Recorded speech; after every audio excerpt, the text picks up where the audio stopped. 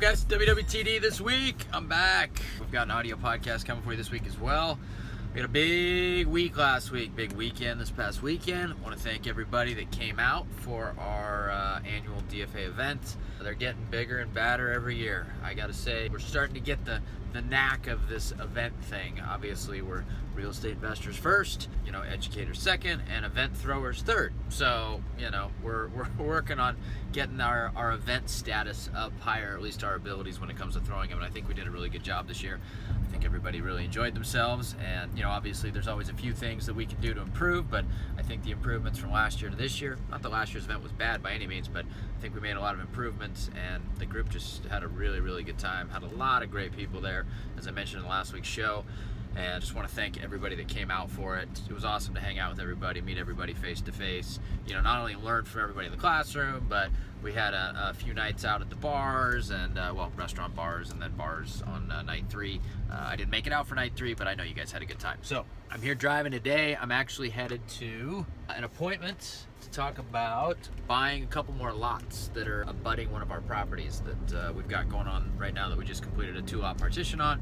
These people need a sewer easement from me or they're in a position where they have to pump their sewage, which they don't want to do. So I've kind of got some leverage on them, and they want to sell their lots potentially too. So we'll see how it shakes out. But hey, I wanted to focus this week's recording on a topic that pertains to something that I kind of thought about while we had the event this past weekend, and then also another podcast that I heard not too long ago that was all about entrepreneurship and cycling. So like, has an entrepreneur cycled terms of like have you started a business? Has that business gone well? Has it gone in the shit tank? And have you come back from that to, you know, redirect, pivot, whatever you want to call it, to then have success again? And they say that, you know, you're not really an entrepreneur until you've had, you know, a full cycle or multiple cycles. And I tend to agree with that because, you know, I've been through a few cycles both on the entrepreneurial side and on the uh, real estate side. But I want to relate that to is, is real estate, right? So right now, there's a lot of people out there. This is like the Carnation Insta Guru time where everybody's a guru, right? That's just kind of the nature of the beast right now, which, you know, I, I, get it. We've been on a long upward trajectory in terms of market conditions.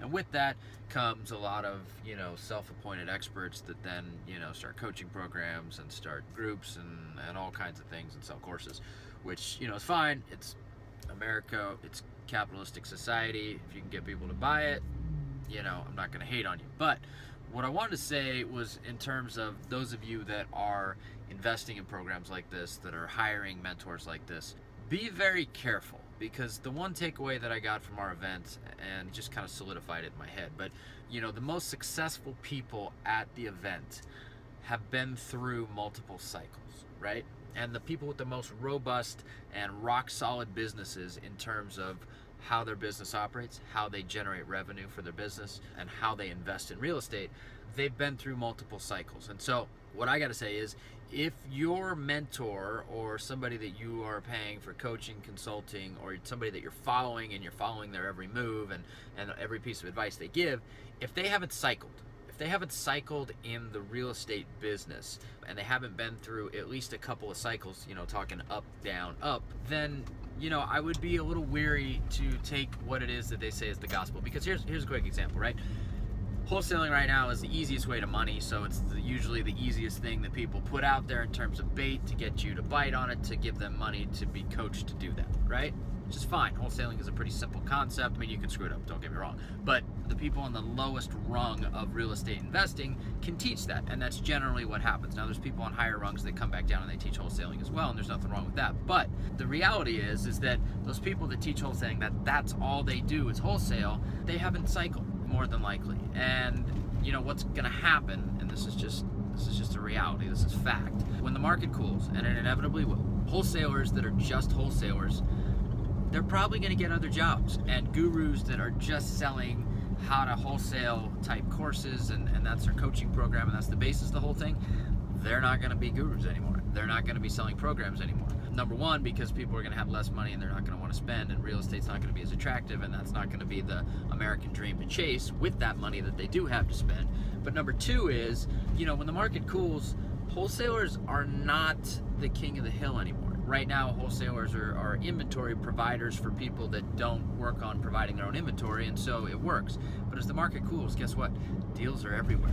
And so even if you as a wholesaler continue to find deals because that's what you do, that's great. But right now, with where we're at in the market cycle, a rehabber will pay you 40, 50 grand or more on an assignment fee, right? And they'll do it okay because they need a deal and they're chasing the dream that's on the other end. In a slow market, if you're trying to whack people for 30, 40, 50K, guess what? They're going to tell you to go F yourself because they don't see the value in it. In a slower market, they feel like they're taking all the risk and you're getting all the easy gravy.